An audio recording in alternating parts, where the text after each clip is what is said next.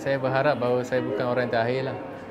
bahawa piano ni dapat di, digunakan cermat tapi dapat memberi inspirasi kepada orang anak-anak muda di luar sana. Ada budak ni lah, budak Melayu ni yang dia cakap saya boleh tune untuk cuma je. Dia memang peminat Piramli. Dia tahu lagunya. Dia memang umpama Piramli kecil lah.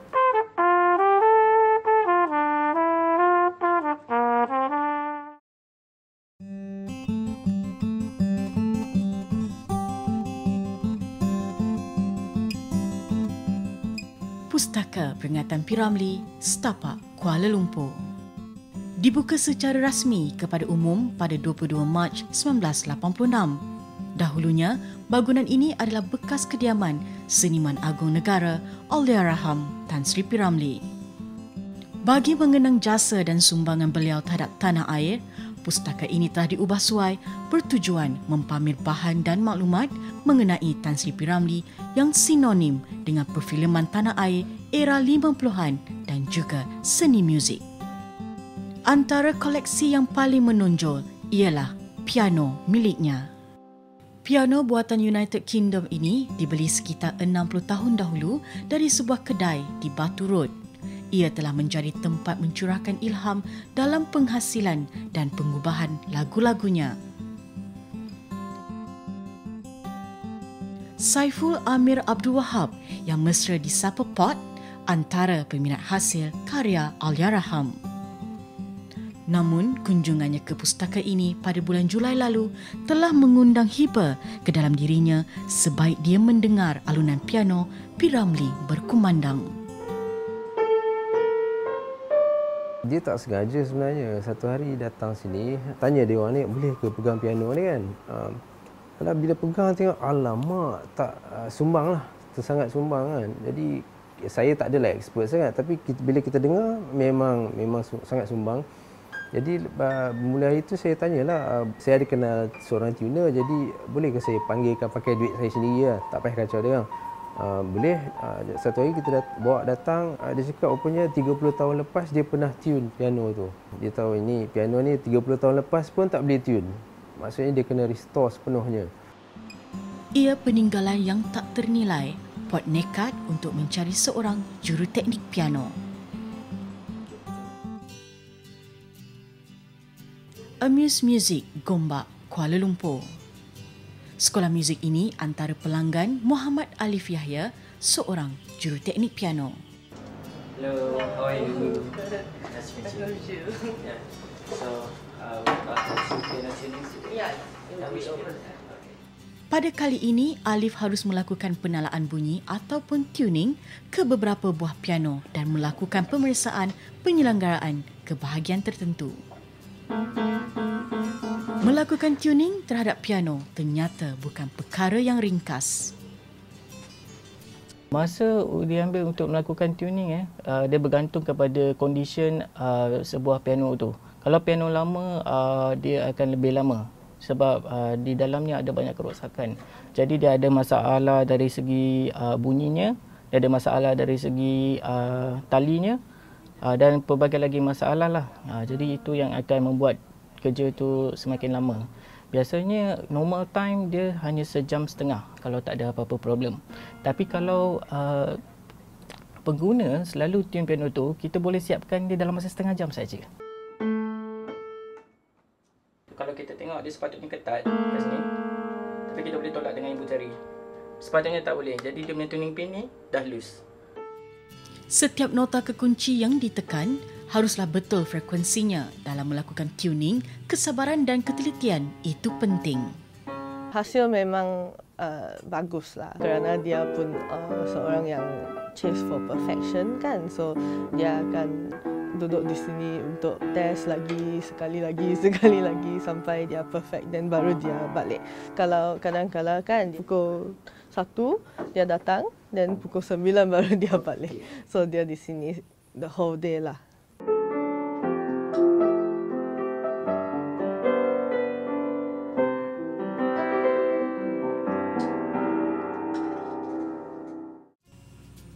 Seperti kenderaan perlu sentiasa bergerak, piano juga harus sentiasa dimainkan bagi mengelak berlakunya kerosakan jika dibiar terlalu lama. Dalam usaha Port Amir untuk mencari juru teknik bagi membaiki piano legenda ini, hebahan mengenai pencarian itu telah menemukan Port dan juga Alif. Bila war-war uh, dapat message daripada seorang uh, ada budak ni lah, budak Melayu ni yang rupanya dia dia sedang bekerja di UK sebagai piano restorer.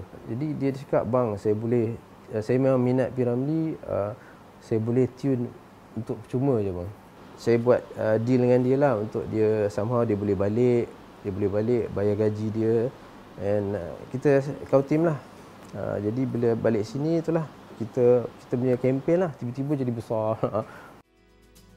Di awal tugasan baik pulih dan tuning dilakukan kondisi piano pada ketika itu ternyata amat mengejutkan. Bila mula-mula kita buka piano tu dalam dia memang uh, cukup teruk sekali terutamanya kerosakan kepada struktur pin block. Kita dah tak boleh tune. Bila kita tarik tekanan dia adalah uh, 18,000 uh, kilo. Ya. Jadi tuning pin yang ada di situ telah uh, rapuh demi kayu dia. Jadi dia tak boleh lagi nak stablekan tune tu. Masa mula-mula uh, saya sentuh, apa yang saya dengar memang cukup uh, orang kata Ya betul probably main piano macam ni kan Sebab dia punya tune memang tak ada langsung tak ada C, D, Do, Re, Mi semua dah out Selain tali piano dan tuning pin, mekanisme yang berfungsi menghasilkan alunan bunyi juga telah terjejas dengan teruk. Bila kita buka, banyak parts-parts atau bahagian-bahagian mekanikal di dalam dia yang telah reput.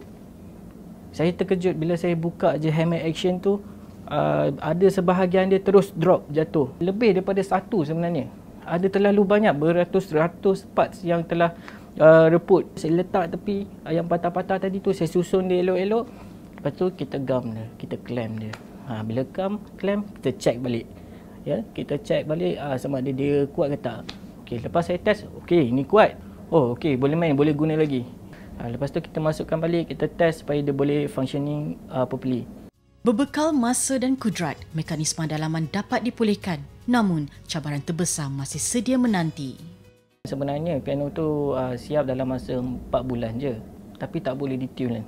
Apa yang menyebabkan dia tak boleh tune adalah tekanan. Dia hanya boleh tahan dalam uh, satu hingga dua hari saja lepas tu dia drop.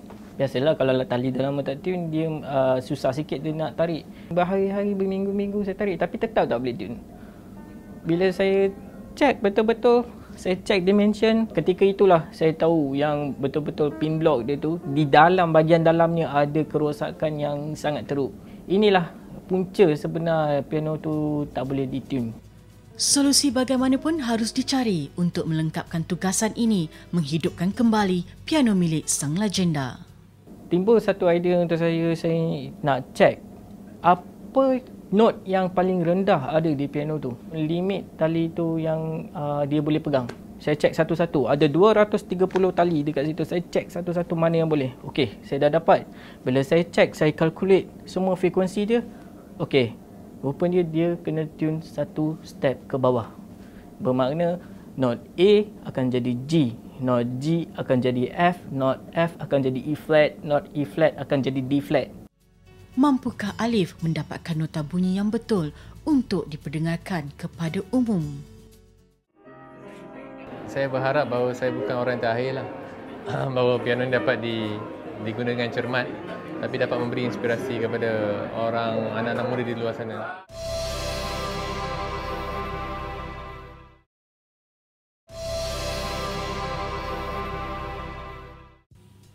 Selaku juruteknik piano, Kali ini tugasan Alif adalah untuk memeriksa dan menyelenggara mekanisme dalaman beberapa buah piano akustik di salah satu sekolah muzik sekitar ibu kota. Adalah penting bagi sesebuah piano itu untuk diselenggara secara berkala bagi mendapatkan keseimbangan dan kesempurnaan mekanisme kerja agar dapat menghasilkan alunan nota yang merdu. Ia termasuk penalaan bunyi ataupun tuning. Tapi lepas set tu memang dia sedap. Dia punya touch tu memang lain.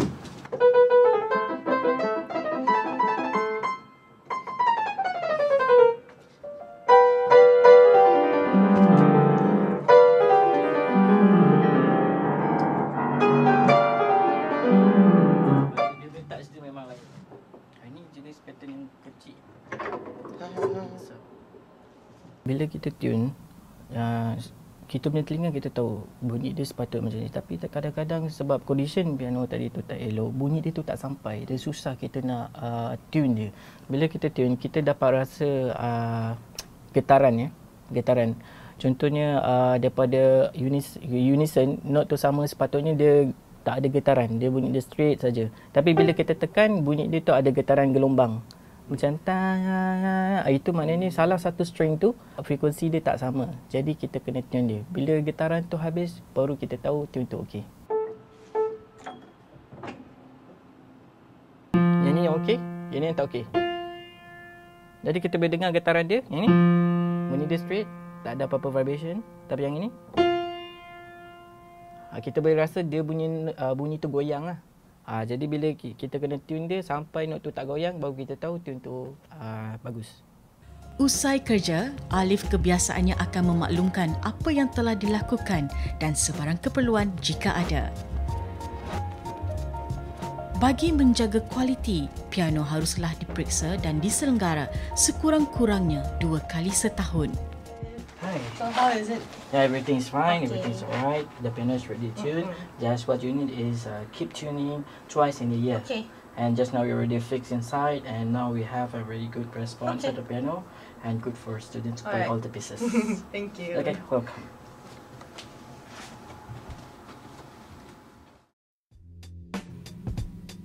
Sementara itu, di Pustaka Peringatan Piramli.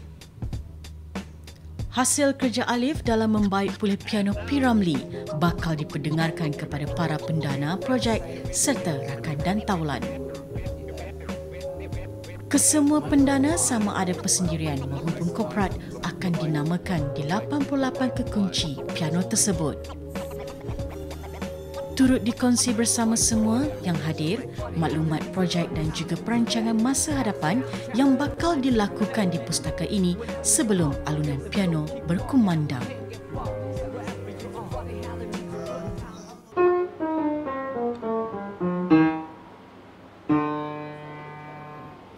Kali terakhir piano ini dimainkan ialah pada 46 tahun dahulu. Dan semenjak itu, piano milik legenda muzik tanah air kita iaitu Allahyarham Tan Sri Piramli tidak terusik dan tidak diselenggara. Namun, hasil usaha ramai individu, uh, mereka telah menjalankan satu projek untuk melakukan restorasi kepada piano ini. Uh, telah membawa kepada hari ini yang mana setelah melalui proses selama enam bulan restorasi, tuning dan pembaikan pulih dan pada hari ini uh, ia akan dimainkan secara rasmi untuk tatapan umum dan sama-sama kita saksikan bagaimana alunan muzik yang dihasilkan oleh piano ini menambat hati para peminat.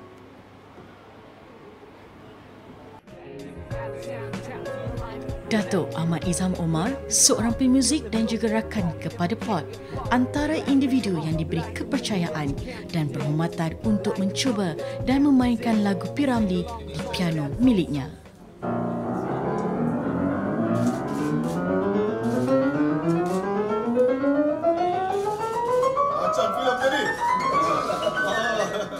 Ternyata setiap bunyi yang terhasil berjaya menambah hati mereka yang mendengarnya.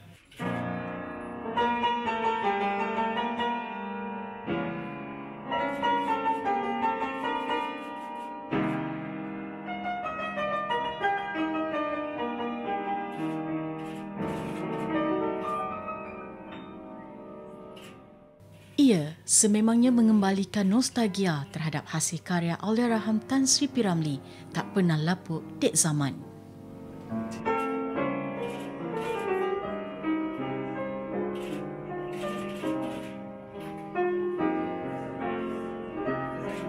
Saya berharap bahawa saya bukan orang terakhir lah.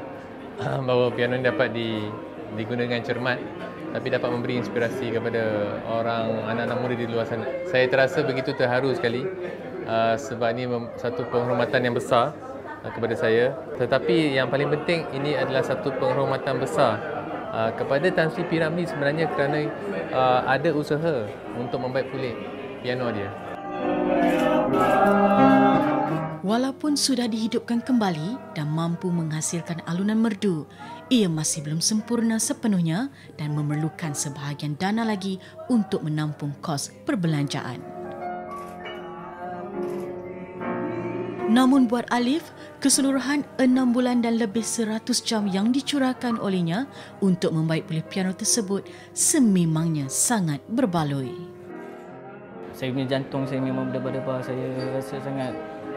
Saya rasa semua ni macam dalam mimpi.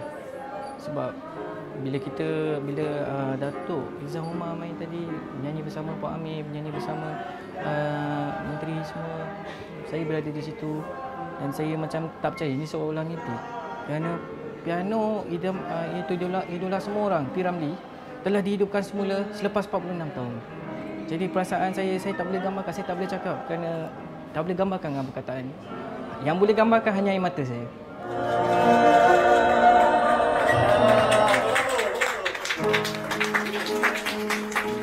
Okey, lagi. Satu ringgit enam puluh sen. Okey. Satu ringgit empat puluh sen. Okey. Dua puluh sen. Empat puluh sen. Okey. So, ada lagi? Tak ada. Sembilan plus ringgit tiga puluh sen.